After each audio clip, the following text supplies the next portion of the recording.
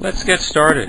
Here we are in uh, chapter 1, and your text starts out with a discussion of electronic systems. And the first thing that uh, it addresses is, is talking about, well, what is an electronic system? And it has a, a, a brief definition. It says, a label describing a group of devices controlled by a number of interconnected electronic components.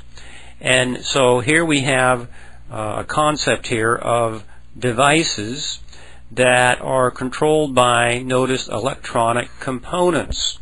And when we talk about these components, this is a large part of the subject of this particular course.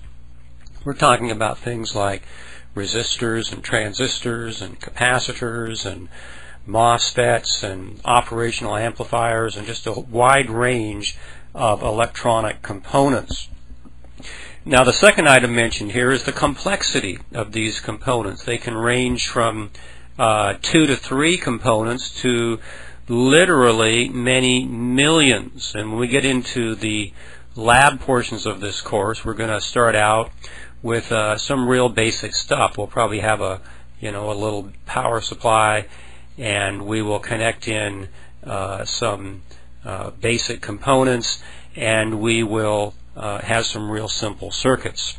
But uh, even though electronic systems start at a very simple level, they can become very complex. And over here we, we see a system board, and system boards represent uh, literally millions of components.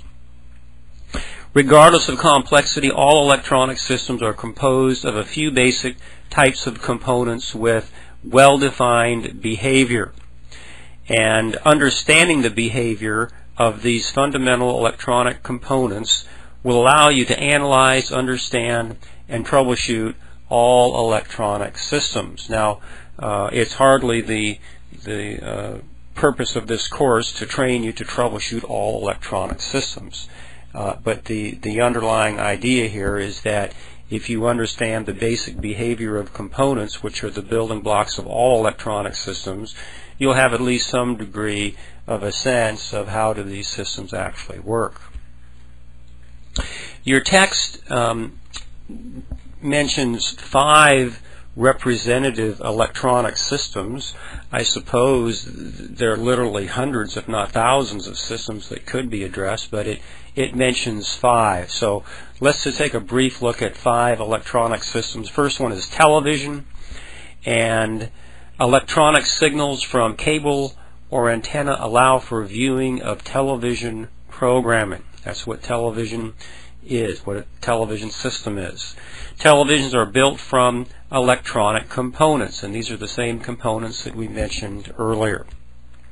Though not mentioned in your text, the television was actually invented in 1927. A individual named Philo Farnsworth, actually a teenager, invented the TV. Um, and in those days, I remember the TV. It was just kind of a uh, an, an, oval shape, and you know it had a an, an, image on it which wasn't very clear, uh, but it was the beginning of video in the 90s we had the advent of HD TV, which was a you know a far a far cry from that first TV that Philo Farnsworth uh, came up with in 1927. But the interesting thing about it is that the the components that are used in that 1927 television, um, a few of those uh, same components are still going to be in that HD TV in the 1990s, though it's a much more uh, sophisticated and complex device, um, some of the components still remain the same. The next representative system uh, we'll look at are computers. And again, as we mentioned here, we have a computer system board, and the complexity there is uh, quite advanced. And again, they are built out of electronic components. And computers, what do, what do computers do? Well, they accept inputs from a variety of sources to include mice, keyboards, switches, human voice, network, etc. They allow for computations, production of a wide variety of outputs, and manipulation of data. But again, they are built from electronic components. Industrial robots. Now here is our friendly robot walking along. These, uh, what is a robot? Well, these electromechanical systems provide a wide variety of functions. Interesting to note here that uh, a robot is uh, electronic and it is also mechanical. It's a merging of, of two technologies. And um, robots have just um, their their use is expanding daily. They have begun to be used quite a lot in uh, medical applications. And you might not think, well, how can a robot be used in medical? Well, uh, some of the newest applications have been to use robots in uh, performing surgical procedures. And so there's still a human that controls the robot, but the actual cutting is done by uh, the very steady movement of a mechanical arm from the robot.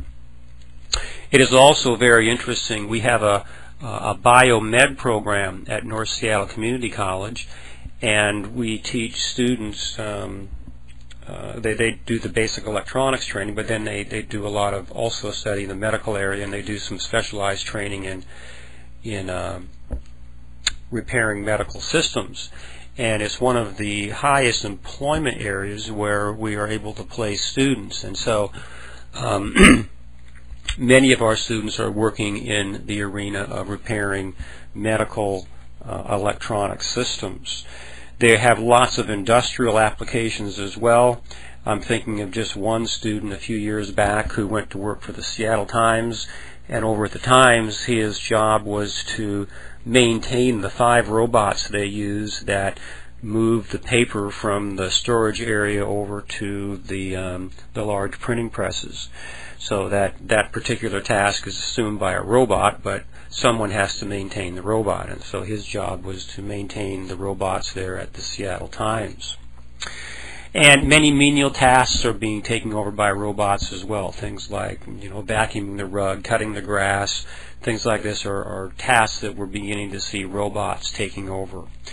Robotics are very um, popular in Seattle. There's a large robotics club in Seattle for any of you that may be interested in this area. They do. They have you know competitions and uh, lots of um, hobbyists participate in this, and it's a lot of fun.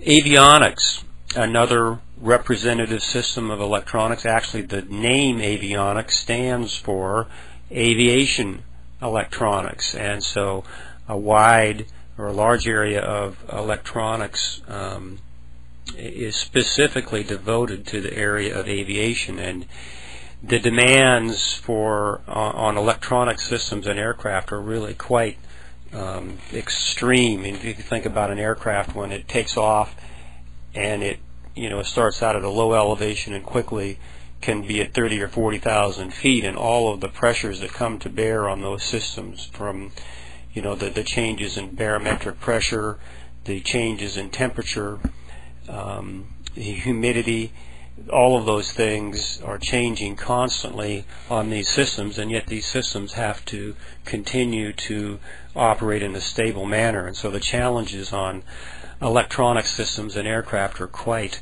high. Here is a picture. In this picture here, we see an aircraft carrier, and notice that. Uh, what's the purpose? Well, they support aircraft.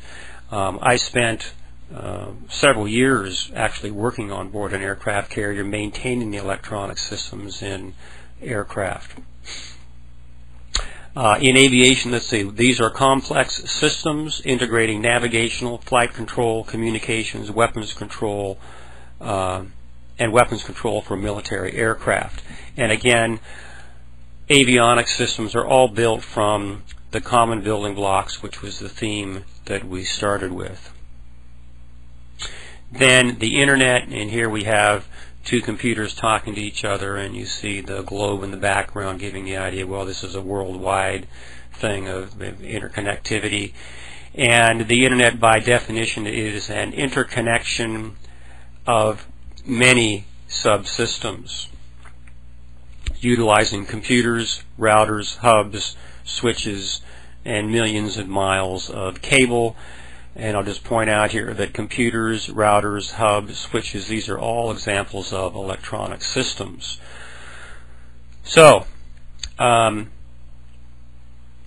we've been talking about building blocks. The common theme of all these systems is that they share the same electronic building blocks or components which are the subject of this course. And so as we proceed in this course, we're going to be spending a great deal of time looking at the behavior of specific components. How do they actually work? And how do they interact within these systems?